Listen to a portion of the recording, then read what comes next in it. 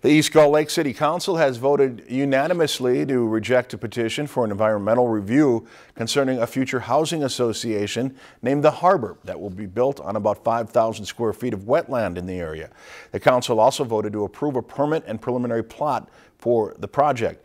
The decision comes after a September 6th public hearing where the City Planning and Zoning Commission met and voted to recommend approval of a conditional use permit and preliminary plat for the development. Law required the council had to first address the petition for the environmental review before voting on the permit or the preliminary plat. Martin Harstead, the developer of the 27-unit homeowners association, hopes to begin construction this fall.